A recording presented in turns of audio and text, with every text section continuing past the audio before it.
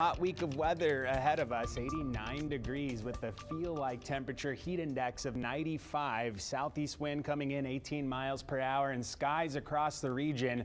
They are pretty clear. So lots of sunshine out there, not only in South Texas, but for almost all of the state, with the exception of some thunderstorm tops getting into the panhandle, some severe weather over in New Mexico. Uh, but most of Texas is pretty quiet right now. That high pressure feature that is in the Gulf of Mexico it's going to stay out there. That's going to keep the southerly winds coming. And on that south wind, humidity levels are going to rise. So those high temperatures in the mid to low 90s, they're going to feel like it's between 105 and 110 as we head into Friday and Saturday. Look what happens though between Saturday and Sunday, a little drop in the high temperatures. That'll be closer to seasonal average, and that's because of that cold front. I know it's not going to be cold, but it's still a cold front.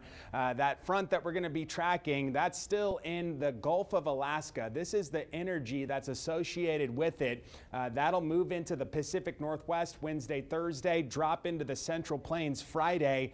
And by Saturday night, it'll be over the Great Lakes, and that positioning may send a weak boundary into, if not through, the coastal bend on Saturday night. Not only that, there may be a little chance for shower or thunderstorm activity with it, although the rain chances don't look crazy impressive, but at least we're talking about that possibility as well as dropping those temperatures closer to seasonal average. We're also watching the tropics, this southern Caribbean zone here. There's a tropical wave over Venezuela. You see how that's propagating uh, from east to west there. That's going to be the little feature that as it gets into the southern Caribbean may have a little chance to develop. I will be up front and say that the Hurricane Center is not flagging this at this point.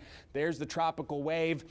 The Hurricane Center, again, not saying anything, but the reason I keep mentioning it is because the GFS and the European forecast models have been very consistent on trying to develop something in Central America uh, between May 18th and May 20th. That's Wednesday through Friday of this week. The most likely scenario that I see at this point is maybe a broad tropical low or maybe even a depression trying to develop in that time frame. But for us, I don't think it's anything to worry about. I'm just mentioning it because uh, it may be the first little sign of the tropics beginning to wake up as we head into hurricane season. The other thing coming out of Central America, smoke from agricultural burns. That high is going to shift off to the east a little bit, and that should open up the window for some haze to get back in here on Thursday. And if that weren't enough, the first plume of Saharan dust may also be working our direction over the weekend. So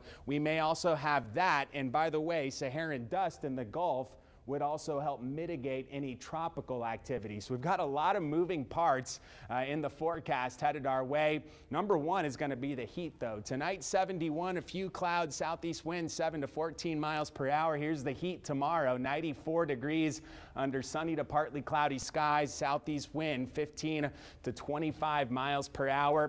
Triple digits possible inland tomorrow afternoon. Basically, if you're along or west of 281. That's where that 100 degree temperature will be. Mid 80s at the coast and see there mid to low 90s heading into the weekend. Friday 94, beach to bay Saturday. You got to be hydrating before that relay marathon. It's going to be very hot. Looks like the hottest day of the week on Saturday. Heat index near 110. Then that front comes in, a little chance for rain Saturday night, and closer to seasonal values, 89 behind that front on Sunday. Leslie. My goodness, it continues.